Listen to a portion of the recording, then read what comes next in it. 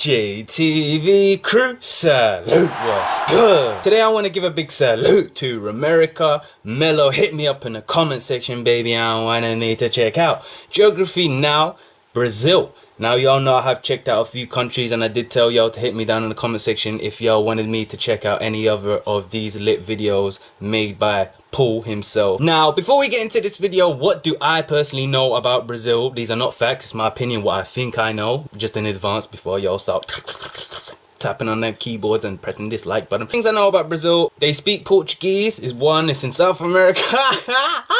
it's the only South American country that speaks the lingo Portuguese. Produced a lot in this world. Samba, biggest carnival in this freaking world. And apparently, I don't know if it's true, but it's like that's got the most Africans living out of Africa in the country, if y'all know what I'm saying. But with ah, further ado, family crew, let's get straight in. So, well, Brazil is one of the largest countries in the world. Obviously, I won't be able to cover everything within about 10 minutes. I'll try to do my best. But in the meantime, soccer, monkeys, Amazon, Ronaldo, and samba songs, capoeira, anaconda, anacondas, carnival, and attractive people that kind of have like tan skin. Oh, come on, guys. You.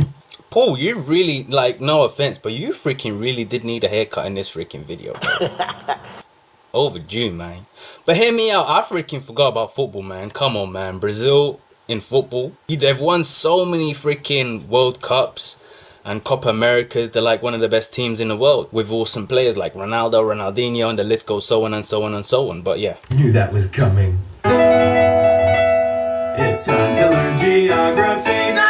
Hey everybody, I'm your host Barbs. I guess that's a thing now. And after weeks of anticipation, we finally finished the Brazil video. And you know how we start these things. Let's dissect the flag.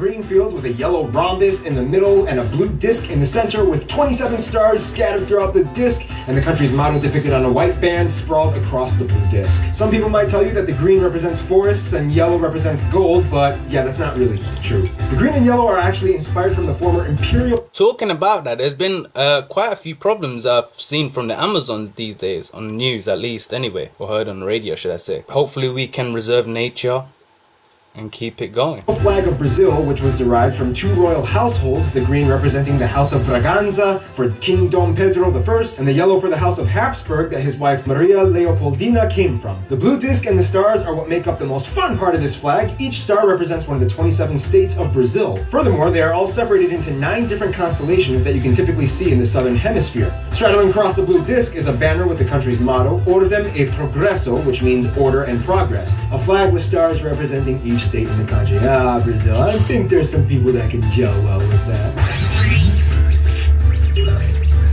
Here's where things get a little fun because each section of Brazil kind of has its own little story.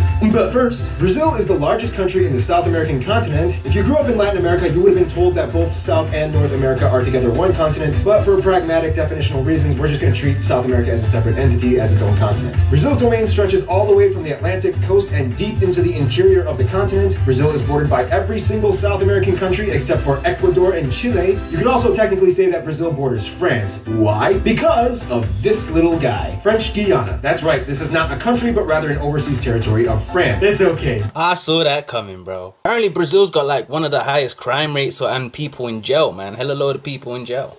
Raise your hand if you just learned that. You're learning. The country's capital is the aptly named Brasilia, located slightly inland in the central west region of Brazil, and actually administers itself in its own. I know many of y'all probably thought Rio de Janeiro was freaking capital. That's what I thought at one stage until now federal district, much like Washington, D.C. Brasilia was actually built in 1960 as they were switching from the old capital, Rio de Janeiro. That's Ooh. right, it's pronounced Rio de Janeiro, not Rio de Janeiro. Get it right, we're not in Mexico. This is Portuguese, not Spanish. This was done in an attempt to provide a more regional neutrality for the rest of the states in Brazil by centralizing the capital. Brazil is divided into 27 federative units, 26 of which are states, and one federal district, which is where the capital resides. Each state and region of Brazil has their own unique flavor that they bring to the table, and we'll discuss more about that in the demographics, but Essentially, it kind of goes like this We grow food. We got all the money. We are so black. We are so white. Stop cutting our trees. Another thing about Brazil, I think they're the number one country with loads of cows. I mean, exporting, you know, out of the out of the country and for worldwide. That's another one I just remembered. Of disputes, Brazil has two disputed areas with Bolivia on the Mamoré River and two disputed areas with Uruguay on the Uruguay River and in the Masoyera Rivera that nobody cares about. Funny backstory, Uruguay actually used to be part of Brazil, known as the Cisplatina province, yada yada yada. There was a war, they gained their independence. Brazil has a When was that, baby?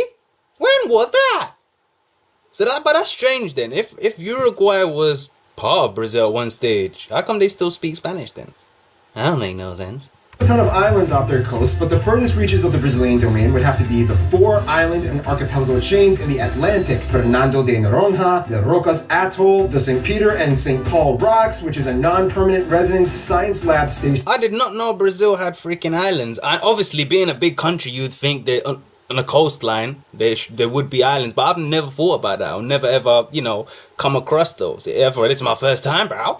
and Trindade and Martin Vaz. Otherwise, the western mainland borders look kind of funny. If you look at the map, it kind of looks like Brazil has river Tourette syndrome, in which they have a lot of half rivers, but then they jump onto the next adjacent river, which is like a couple hundred kilometers away. It's like, eh, I'll take part of the Rio Acre, but then Talking about that, what you was just mentioning a few minutes ago, bro, it reminds me of kind of like Venezuela and uh, Trinidad. At one stage, like when I was a little youth, I used to think like Trinidad was part of Venezuela until I grew up and got some knowledge into my brain. Like it's so freaking close. But anyway, that's for Venezuela's day. If y'all want me to do that. eh, I'll cut through and make my way over to the Rio Purus. I'll take the Rio Santa Rosa, but then, eh, I'll jump over to Rio Breu. This all had to do with centuries of Eh. disputes with the former empires, and today you have this massive piece of sovereign complexity. And that's just the borders. Wait till you see what's inside the borders. When you think Bro, every time I see that image, I really do think he's trying to throw me a freaking finger, or us at least, bro. I feel like I need to comb my freaking beard, bro. Hold up one sec.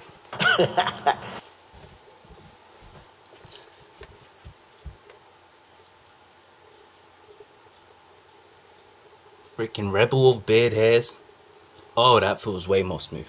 I'm back in, baby. of Brazil, everybody just kind of automatically defaults to one image, the Amazon. And yes, the Amazon is a very imperative factor to the nation's domain. However, there's a lot more to it in terms of landscape and terrain. First of all, about 60% of the entire Amazon rainforest is located in Brazil, mostly in the north region, and of course, no surprise, consists of the most heavily compact ecoregion on Earth. Out of all the 10 million species of animals and insects known to human beings, about half of them call the Amazon rainforest home. Many of the species that have yet to be discovered are still lingering about in the deep, uncharted depths of the Amazon today. So hold up, you've been trying to freaking discover everything that's above us, but nothing that's in like the Amazons or in the sea. This is not Brazil, I'm just talking in general. What? Now, we all know that there's a huge deforestation problem going on in Brazil in the Amazon to provide more agricultural land. However, even Brazil's own citizens are harshly criticizing the action. It's a little tricky though, because with Brazil's rapidly growing population, more resources Sad, are man. demanded of the people. So it's kind of like, we get it, it's bad, but I mean, what do you want us to do? Our country is growing and we need to provide you people with more stuff. Use alternative methods! Like Yeah. what? We're working on it! Otherwise, outside of the Amazon, the rest of the country has a vast array of contrasting scenery almost equally as fascinating. Along the coast, you have the Mata Atlantica, or the Atlantic Forest, the Cerrado, or the tropical savannas in the center. This is also the area where most farms and ranches can be found. Also, keep in mind, Brazil is one of the top countries in meat production and exports. In the south, you have the Araucaria, or the pine evergreen forests. In the north, you have the small mountains, especially close to the border of Venezuela, in which you can find one of the most notable natural landmarks being the tri-point border between Venezuela, Guyana, and Brazil. By the way, is there a border? Or can like people from Venezuela just walk through the jungle or forest into Brazil? Hit me down below in the comment section, bro. Oh, Mount Roraima, even though Brazil only owns about 5% of the mountain. But still, it- Wait, that reminds me of uh, Venezuela's, uh, what do you call it now? Angel Falls? Is that part of the same? Because it's right next to Venezuela, but it's.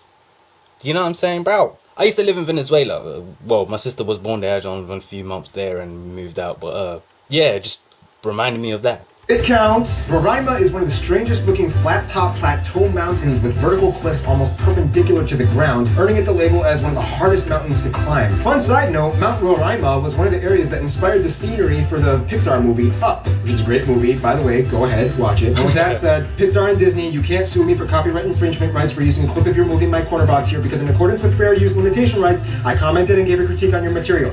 Just letting you know, you can't sue me. One of the Ah, smart guy. But when I freaking reacted to a video of Portugal and freaking put it, um, freaking, you know, their information in the freaking description down below, they still went and gave me a freaking strike. The most remarkably bizarre and unusual spots of the country, though, would have to be the famous flooded deserts of the Lençóis Maranhenses. This place, located on the north coast of the Maranhão state, is almost alien-like, as there are virtually no places like it on Earth. Essentially, it's a sand dune desert with abundant lagoons speckled throughout the entire region. Although it gets a lot of rainfall yearly, the area is That looks really nice. But you know what? You know, being in the heat and watching movies, like watching the water in the middle of like sand, it's a bit like, is this a mirage or is this actually true? Is this actually real? I gotta of know. course, little vegetation and wildlife. Nonetheless, the area draws in thousands of tourists yearly as it contains the almost paradoxical juxtaposition of elements in its scenery. It's But there's no streets. How did they freaking get there? You telling me they walk for ages? Bro, that's a good exercise. Your boy right here does a lot of walking, so I would love to do that. But is it safe? I don't know, man. Safety and security for me is a priority. I'm just stating. It's not every day that you see a flooded desert. All right, let's talk about the Brazilian people. Biscoito, bolacha, biscoito, bolacha. yeah, we'll explain what that means in a little bit. But first, now, of course, Brazil. Biscuit. Is incredibly diverse, but before we get into that little pie graph thingamajiglet that we always do here in the demographics section, I feel like it's very crucial to mention one important thing about Brazil's people. Now, everybody knows that one of the most dramatically unique traits of Brazil would have to be its people. When asked, what do you think a Brazilian looks like? The stereotype is somebody with a perfectly bronze toned body and with slight dramatic features. One reason why this stereotype has been perpetuated so extensively is because, in a strange way, it's kind of true. Over the course of a few hundred years since colonization, Brazil's population has actually virtually invented an entirely new race that never exactly existed before, and it makes up nearly half of the entire population. I'm talking about the Pardo people. Now, although the definition is vague and up for relative dispute, essentially this is the easiest way I can describe it. Pardo people are kind of like people that are either too white to be black or too black to be white, and there's probably a little bit of amber. The hell? That being said, What now let's jump into the pie graph. Brazil Like you did put up mixed race, right? Wow, that that's that's weird. Okay. Brazil has about 202 million people, making it the fifth most So do y'all call mixed race pardo?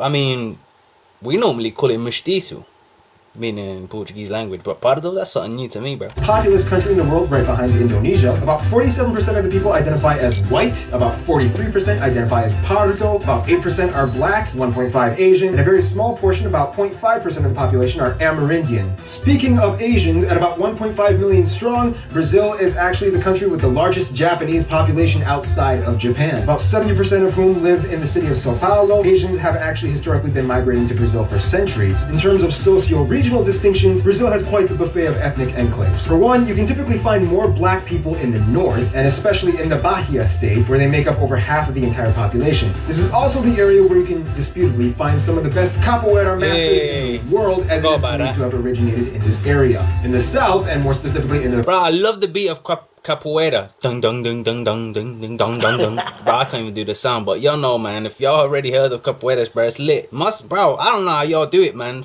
Flying in the air and all sorts. Rio Grande do Sul state, you have one of the largest white populations in the entire country, with immigrants coming from places like Germany, Italy, and the Netherlands. In fact, many of these places have remained relatively untouched by the rest of Brazil, and many of the communities still retain the mother language of the country the members expect of that. the community came from. Oh, there's a joke in Brazil that nobody has met anybody from the state of Acre. It's so far and secluded that you may as well just call it North Bolivia. It's mine, Brazil. Nope, too bad. We won it in the war. It's still ours. Deal with it. Then, of course, you have the various native tribal groups. There are about 240 tribes that a little over 900,000 people claim to be a part of ethnically. The government has recognized 690 territories and reservations for these various people groups that make up about 13% of the entire country's landmass, nearly all of it localized in the Amazon rainforest. Brazil's governmental agency for tribal peoples has a list of about 80 uncontacted tribal groups that deliberately choose to remain disconnected from the rest of the world And sometimes that's the best way to be, because that's how I like to be, bro. Trust me, nature, know, bro. Money don't exist.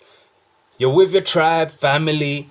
You hunt for your food like we all used to do back in the days. Hey, but there's no technology, no internet, no Wi-Fi, bro. If you can put up with that, you're good to go. When do we start? When's the package? Hey, bro.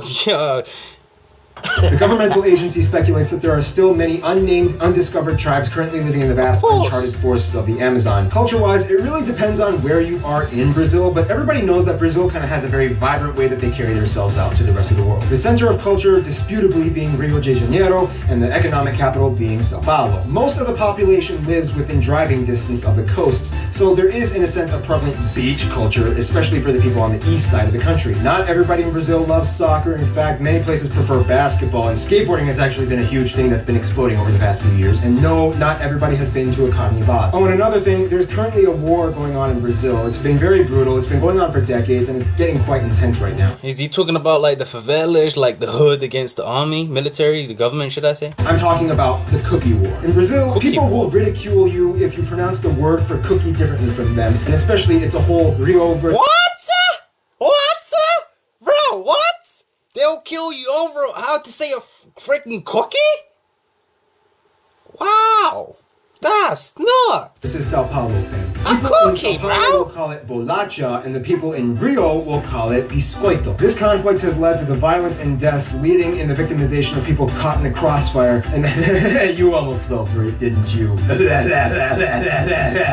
now let's talk about their relation. Bro, was that was that a joke? or Was that serious? Cause I, I didn't. Bro, I'm taking this shit real serious, baby. What would I say, bolacha or biscoito? Bro, I use both terms. It just depends how I feel in the day, bro. Now, Brazil kind of gets along with everyone, but he's kind of like that friend that ventures off and does whatever he wants while you wait in the hallway until he comes back from doing it. First off, pretty much all of their neighbor Yo. nations get along with them, although Argentina has a huge competitive hatred for Brazil when it comes to soccer. But all that aside, they have good relations and trade policies. Then, just like mentioned before the Angola video, they get along with other nations of the former Portuguese Empire like Angola, Mozambique, Sao Tome and Principe, Cabo Verde, and so on. They even get along with Portugal and have no bitter Guinea-Bissau, Timor-Leste, uh, was Goa, Macau, like India and Macau, China, I think, or is it its own place now? I don't know, bro. I'm really bad with that type of ish, but those are the type, furthermore, that he forgot to say. bitterness towards the former colonization. Now, when it comes to the US, for centuries they've been good friends and have a deep history of trade and alliances. However, recently Brazil has been kind of diddle-doddling off making friends with other people that kind of give the US the old shifty eyes. Then we have Venezuela and Cuba. Brazil has sided with the Venezuelan government more in the past few decades and has built a $1.5 billion port in Cuba. Then we have Iran. Recently, Brazil has been testing the waters on attempting to build ties with them, although they haven't really improved much recently. Nonetheless, Brazil is quite the popular guy. Not many people dislike Brazil, except for maybe the Brazilians in Brazil that may complain about their own country's administrative affairs. But that's a lesson you'll have to learn by talking to an actual Brazilian person, not me. Plus, we're almost out of time. In conclusion, Brazil is so much more than just the Amazon and soccer, and we didn't even scratch the surface of Brazil in this video. And to find out more, I recommend just talk to a Brazilian. Just remember which side of the cookie you're on. Stay tuned. Brunei is coming up next. Brunei. I've never heard of Brunei in my whole entire life. I did learn a few things in this video. I think this video should have been a bit more informative of things that we don't know as yet to contrast of the things that we already do know. Does that make sense? Family crew, I'm gonna see you in another day's upload. I'm out. Ah.